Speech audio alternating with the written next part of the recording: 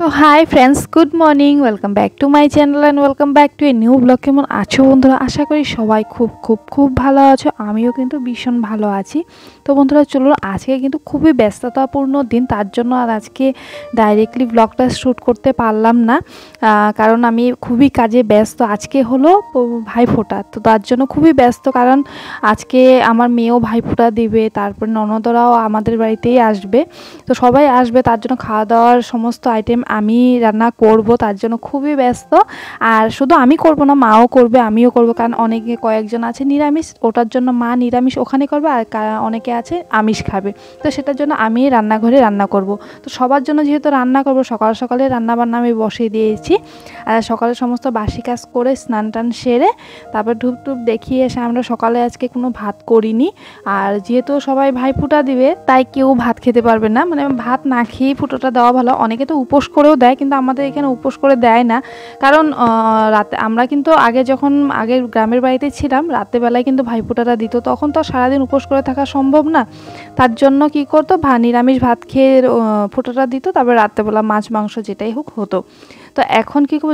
যেহেতু এবার ফুটোটা মানে দুপুর দুটো অবধি আছে, তার জন্য ফুটোটা দুপুর সকালে দিবে। তাই ভাবলাম যে কেন না আজকে মানে ভাতটা না খেলেই ভালো। তাই আমি সকাল সকাল বর আর মেয়ে দুজনেই তো ভাই ফুটা দিবে, তো তার জন্য ওদেরকে রুটি, আলু ভাজা করে দিয়েছি, ওরা খেয়ে নিয়েছে। আর আমি ভেবেছিলাম যে সকালবেলা আজকে আমি একটু মুড়ি খেয়ে নেব, কারণ আমি রুটি খেলে আমার গ্যাস হয়ে যায়, তাই ভেবেছিলাম একটু মুড়ি একটু ভিজিয়ে খেয়ে নিব দুধ দিয়ে। কিন্তু এত কাজের চাপে আমি খেতেই ভুলে গিয়েছি, জানেন তো বন্ধুরা? আর আমি ভাইফোঁটা বলতে আমারও ভাই আছে সত্যি বলতে আজকে অনেকটা কষ্টই হচ্ছে। কারণ ভাই তো আছে, কিন্তু ভাই সত্যি কিছু অসুবিধার জন্য আসতে পারবে না। মনটা খুবই খারাপ। মানে এত সুন্দর এত সুন্দর করে আয়োজন করে সবাইকে খাওয়াচ্ছি, কিন্তু আমার নিজের ভাই আজকে আসতে পারবে না। নিজের ভাই আছে, কাকাতো ভাই আছে, সবাই আছে, কিন্তু থাকা সত্ত্বেও কিন্তু কেউ আজকে আসতে পারবে না। আর আমারও এতটা অসুবিধা যে আমি গিয়ে দিতে পারব না। আসল কথা যেহেতু মেয়ের স্কুল আছে, কালকে সকালে আবার মেয়ের স্কুল আছে, তারপরে যেহেতু মা ওইদিকে আমিষের, নিরামিষের ঘরে খাওয়া দাওয়া করে, এদিকে বর আমিষের ঘরে খাওয়া দাওয়া করে। তো বরেরও অনেকটা অসুবিধা হবে, ঘরেও অনেকটা লোকজন আসবে, তারপরে মেয়েরও স্কুল, টিউশন সব কিছুই আছে, কারণ পরীক্ষার বেশি দিন নেই। এতটা অসুবিধে করে বাবার বাড়িতে যাওয়া, যেহেতু একদিনে যদি যাই দু ঘণ্টা রাস্তা এখান থেকে, বরের বাড়ির থেকে বাবার বাড়ি। তো দু ঘণ্টা হলো না, ওখানে গিয়ে আবার ফুটো টুটো দিয়ে ওখান থেকে ফিরে আসা। মানে এতটা না জার্নি আমি সত্যি এখন করতে পারি না, তার জন্য যেতে পারলাম না। নাহলে সকালে যদি যাই, তাহলে ফুটোটা দিয়ে বিকেলবেলা চলে আসতে পারতাম, কিন্তু সত্যি কথা আমার শরীরটা না এতটা এখন দেয় না, তার জন্য যেতে পারলাম না। আর ভাইদেরকে বলেছিলাম আসতে, কিন্তু আমাদের বাড়িতেও কিছু কাজ হচ্ছে। ভাই বাড়িরও কিছু কাজ করাচ্ছে, তার জন্য ও ওখানে না থাকলেও হয় না। আর কিছু কিছু অসুবিধার জন্য কেউ যদি নিজের মন থেকে আসতে না চায়, সত্যি কথা বলতে জোর করে কিন্তু আনা যায় না। সত্যি কথা যেটা। আর সত্যি কথা ভাই ফোটাটা কিন্তু বোনদের থেকে ভাইদেরই দেওয়া ভালো। সেটা আর কি বলব আপনাদেরকে? তো এটা যার যার অভিরুচি, কেউ যদি দিতে না চায়, তাকে আর জোর করে দেওয়া সম্ভব না।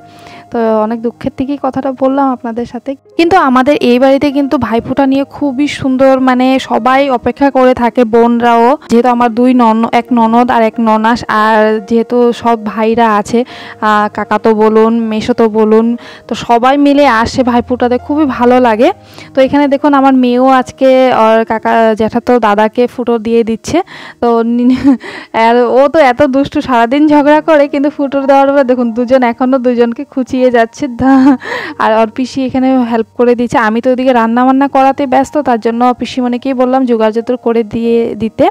আর এবার যেহেতু ছোট বোনই দিতে পারবে, বড় বোন দিতে পারবে না, কারণ কয়েক মাস আগে, দু মাস মতন আগে ওর শ্বশুর মারা গিয়েছে, তো ওদের এক বছর দিতে নেই, তাই ও দিতে পারবে না। ছোট বোনই দিবে সবাইকে ফোটা।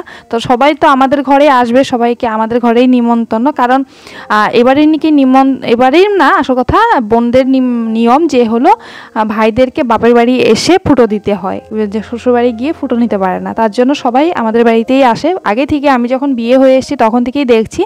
সবাই যখন আমরা গ্রামে ছিলাম, সবাই গ্রামের বাড়িতে যেত, ওখানে খুব মজা করে ফুটো দিত।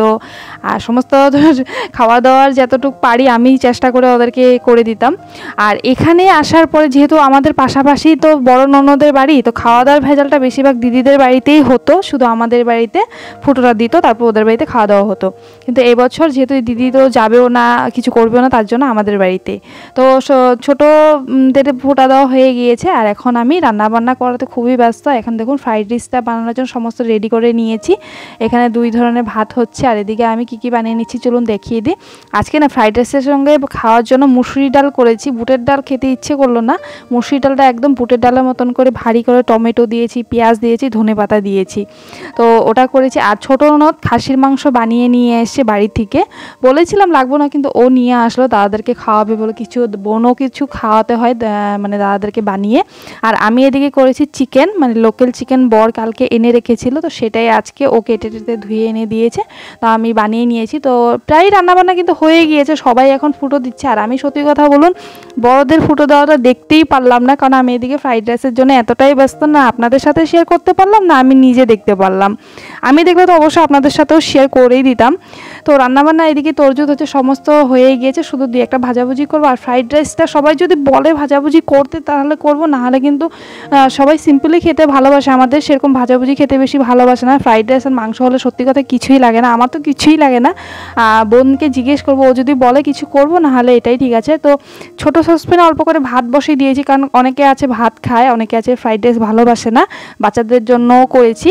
তো এখানে ভাতও হয়ে যাবে, আর এদিকে ফ্রাইড রাইসটাও আমি করে নিব। তাহলে বন্ধুরা চলো রান্নাবান্নাটা কমপ্লিট করে নিই। তো এদিকে সবাইকে খেতে দিয়ে দিয়েছে। আমি এদিকে বেড়ে টেড়ে জোগাড় করে দিয়েছি আর বোন সবাইকে এখানে কয়েকজন কয়েকজন করে দিচ্ছে ডাইনিং টেবিল। আর এদিকে দেখুন হ্যাঁ, কয়েকজন খাচ্ছে আর কয়েকজন আছে নিরামিষ। আমার নিজের দুই ভাসুর নিরামিষই খায় তো ওনারা মার সাথে নিরামিষ খেয়েছে। আর মার মেনুটা কি আপনাদেরকে বলি আর আমাদের মেনুটা কি সেটাও আপনাদেরকে বলি ভালো করে। তো মা বানিয়েছে আজকে মূলো শাক তারপরে আলু পেঁপে দিয়ে পনিরের তরকারি আর বানিয়েছে মুগের ডাল। আর আমি বানিয়েছি শাক যেহেতু শাক ভাত খাওয়াতে হয় দা মানে ভাইকে, তো শাক ভাত, তারপরে ফ্রাইড রাইস চিকেন মাটন আর মুসুরির ডাল একদম ভারী করে।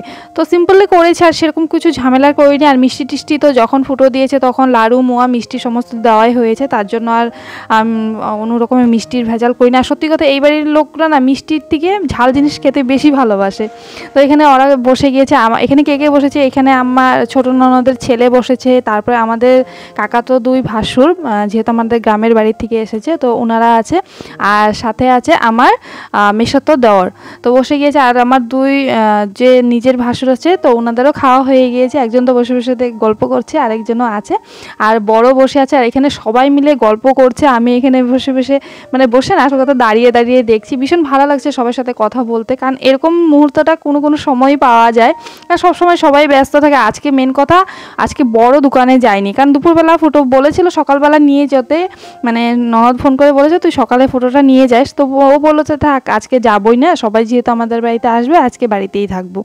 তো সবাই যেহেতু আসছে, সবাই মিলে ফুর্তি করছি। সত্যি কথা, আমার মনটা সত্যি ভীষণ খারাপ। এত আমার ভাইয়ের ফ্রাইড রাইস মাংস খেতে ভীষণ ভালোবাসে। ওদের, আমি যখনই যাই, তখনই কিন্তু ফ্রাইড রাইস মাংসটা বানানো হয়। কিন্তু আজকে এত সুন্দর করে বানিয়েছি, কিন্তু ওরাই আসবে না। সত্যি মনটা ভীষণ খারাপ লাগছে। ওরা আসলে আরও বেশি ভালো লাগতো। যেহেতু সবাই এসেছে, সবার ভাইয়েরা এসেছে গিফট পাওয়াটা কিন্তু বড় না। কিন্তু সবাই যদি আসতো, আমার ভীষণ ভালো লাগতো। কিন্তু সত্যি মনটা ভীষণ খারাপ। মানে মনে হচ্ছে যে কাছে যদি কোনো ভাই থাকতো, ওকে কিন্তু ফটোটা আমি দিতে পারতাম। সত্যি, আজকের দিনটা তো ভীষণ মিস করছি ওদেরকে। তো সবাই খাওয়া দাওয়া হয়ে তারপর একটু রেস্ট টেস্ট করে বিকেলবেলা এখন চা সবাইকে বানিয়ে দিয়েছে। আর দুই ননদ গিয়ে বাজার থেকে অনেক মার্কেটিং করে এনেছে। মেয়েও টিউশন থেকে ফিরে এসছে, ওদেরকে চা বানিয়ে দিয়েছে। আমরা সবাই চা খেয়ে নিয়েছি। এখন মেয়েকে বলছি দুধ খেতে, ও বলছে এখন ফুচকা বানিয়ে দিতে হবে। তো মেয়ের বাইনা দে, ওকে বলছে আচ্ছা ঠিক আছে, দিব। আর দুই ননদ গিয়ে একদম ব্যাগ ভর্তি করে বাজার করে নিয়ে এসছে শাড়ি। আর ওদের শাড়ি দেখে আমারও একটা শাড়ি খুব পছন্দ হলো। তো ননদকে বললাম, তো ননদ ঝটপট বরের সাথে গিয়ে আমাকেও একটা পিওর সিল্ক শাড়ি শাড়ি এনে দিল। আস, টাকাটা কিন্তু আমি দিয়েছি, কিন্তু পছন্দটা ও করে এনে দিয়েছে। তো এখন দেখুন, মেয়ে একদম পুরো রেগে গিয়েছে, ওকে ফুচকা বানিয়ে দিতেই হবে। তো বললাম যে, ঠিক আছে, চলো। আর দুই ভাগ্নিও আছে এখানে, সবাই যেহেতু সবসময় ওরাও থাকে না, আর বড় আছে, তো বলছে, ঠিক আছে। আর বাচ্চাদের না সত্যি ঝাল ঝাল খেতেই ভীষণ ভালোবাসে। তো সব বাচ্চারা যেহেতু আছে, সবাইকে বললাম যে, ফুচকা খাবে। তো বলছে, ঠিক আছে, সবাই খাবে।